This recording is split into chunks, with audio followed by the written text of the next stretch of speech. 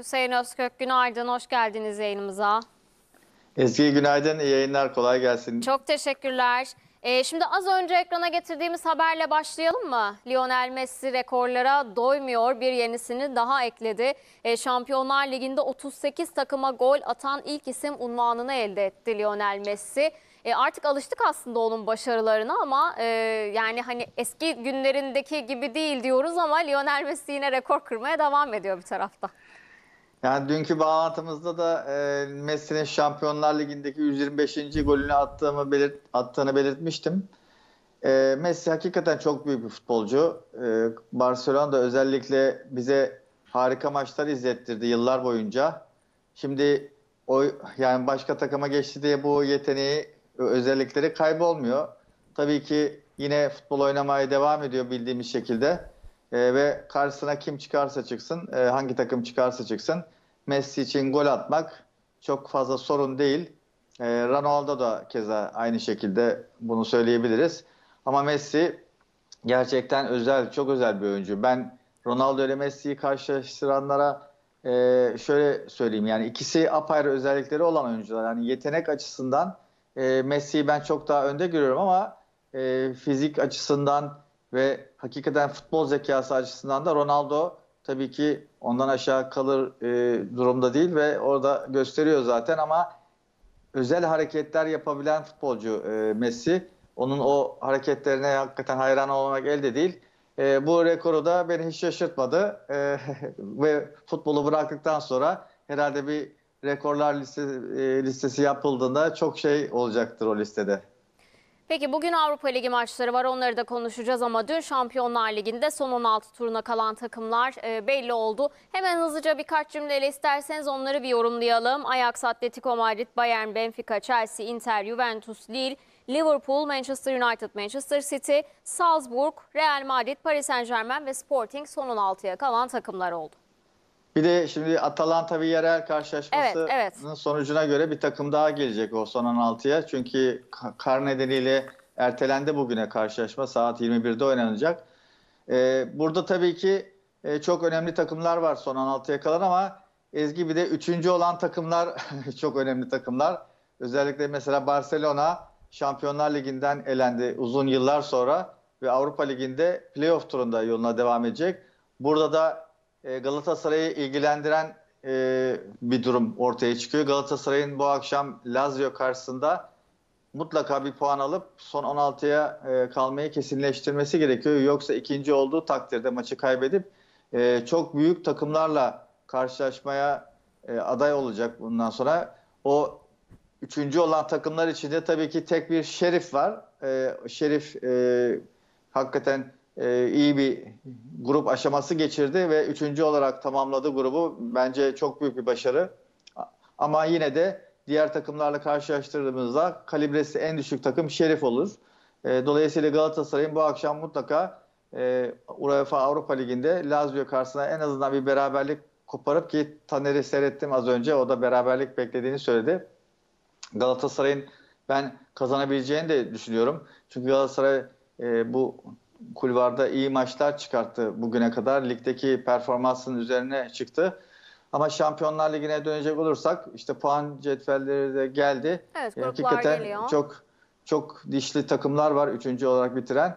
Ee, Barcelona'nın elenmesi e, gerçekten e, çok e, adından söz ettirmesi gereken bir durum. E, Bayern Münih karşısında Barcelona son 3 maçını kaybetti. 14 ee, gol yiyerek kaybetti. 8-2, 3-0, 3-0. Ee, arada çok büyük bir fark oluştu. Bayern Münih ile Barcelona arasında bu kadar aslında fark yoktu hiçbir zaman ama bu fark artık bayağı bir açıldı. Barcelona'nın ve Xavi'nin işi gerçekten çok zor. Mali kriz, işte 1 milyar dolara ulaşan borçlar Barcelona'nın e, belini büküyor. Bakalım bu sarmaldan nasıl çıkacaklar? Ee, ben Şampiyonlar Ligi'nden e, gayet memnun kaldım e, grup maçları boyunca. Çok zevkli, güzel maçlar seyrettik. E, bol kırmızı kartın olduğu maçlar oynandı. Mesela B grubunda 7 tane kırmızı kart çıktı. çok sıkı bir gruptu o. Ama güzel, bize de zevk veren karşılaşmalar izledik Ezgi. Avrupa Ligi'ne dönecek olursak hemen istersen devam edeyim oradan. Tabii ki. takımlarımızın bu akşam e, alacağı sonuçlar ülke puanı açısından da çok önemli. Yunanistan şu anda 15. sırada biz 16. sıradayız ve aramızda 0.5 gibi ufacık bir e, rakam var. E, 15.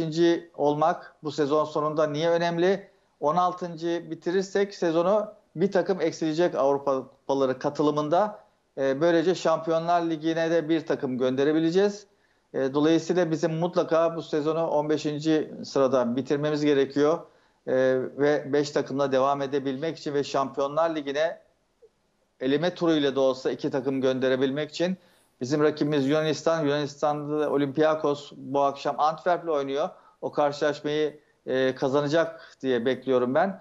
E, diğer yandan Fenerbahçe Eintracht Frankfurt önünde onların da kazanmasını e, bekliyorum. Çünkü Eintracht Frankfurt zaten garantiledi grup e, birinciliğini ve oradan çıkacak ve onlar da rotasyonlu bir kadroyla oynayacaklar. Fenerbahçe buradan bir galibiyet alarak e, önemli iki puan çıkartabilir ve ardından da e, Galatasaray'ın alacağı puan önemli ve biz dolayısıyla Yunanistan'a geçme şansına sahip olabiliriz. E, Olympiakos'un ikinci olarak e, Şampiyonlar Ligi'den gelen takımlardan biriyle eşleşeceğini ve orada işinin zor olacağını da düşünürsek e, bizim Yunanistan karşısında şansımızın yüksek olduğunu düşünüyorum iki takımımızla birlikte. E, umarım takımlarımız bu akşam e, hem e, gerekli puanları alırlar hem de Galatasaray özellikle son 16 turuna kalarak e, bu ara turu yani e, playoff turunu geride bırakarak e, 16'dan devam eder. Peki Lazio Galatasaray mücadelesini biraz değerlendirelim isterseniz. Lazio bu sezon e, biraz inişli çıkışlı bir performans sergiliyor. Evet. E, şu an itibarıyla en önemli silahları Immobile olmayacak gibi görünüyor ama tabii ki maç saatinde değişiklik olabilir. Galatasaray'da çıkıldığı anın eksikliği var ve Galatasaray'a e, bir puan yetecek. Lazio'nun mutlak galibiyete ihtiyacı var. E, bu noktada acaba bizi nasıl bir mücadele bekliyor? Şimdi Galatasaraylı futbolcular e, Avrupa Ligi'nin tüm oynanan geride kalan maçlarında e, kalitelerini gösterme fırsatı buldular ve iyi mücadele ettiler her şeyden önce. Bu çok önemli. Ve dolayısıyla son Marsilya maçı da e, Lazio maçı için güzel bir umut ışığı verdi. E, Galatasaray'ın ligdeki performansıyla Avrupa'daki performansını gerçekten ayırmak gerekiyor. İşte inişli çıkışlı Lazio için söylediği şey aslında Galatasaray için de geçerli. Avrupa'da gayet iyi çıkış gösteren bir performans ama ligde öyle değil. E, dolayısıyla Galatasaraylı futbolcular bu maça kesinlikle e, çok daha fazla konsantre olacaklardır. Bu tek bir maç. E, buradan alınacak bir puan Galatasaray'ın son 16'da yer almasını ve Mart ayında maçlara başlamasını sağlayacak. Yoksa eleme turu Şubat ayında oynanacağı için yine orada takvim açısından bir sıkışıklık olacak e, o turda oynayacak takımlar için. E, Galatasaray'dan ben bu akşam açıkçası iyi bir sonuç bekliyorum. Immobile'nin tabii oynamaması önemli olur. Çünkü Immobile çok değerli, İtalya milli takımında çok değerli bir futbolcusu. Ben hiç unutmuyorum İtalya-Türkiye karşılaşması Avrupa Şampiyonası açılışında o Immobile'den bahsetmiştim ve o maçta da bize gol atmıştı.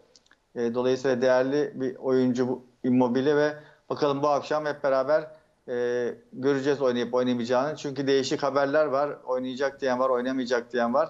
Herhalde e, onu maç saatinde kadro açıklandığında net şekilde göreceğiz. Evet bizim muhtemel 11'imiz de şu anda ekrana da geliyor. Immobile oynayacak gibi görünüyor ama e, yani bir soru işareti yine de koyuyoruz. Evet soru işareti var o son sakatlığından dolayı.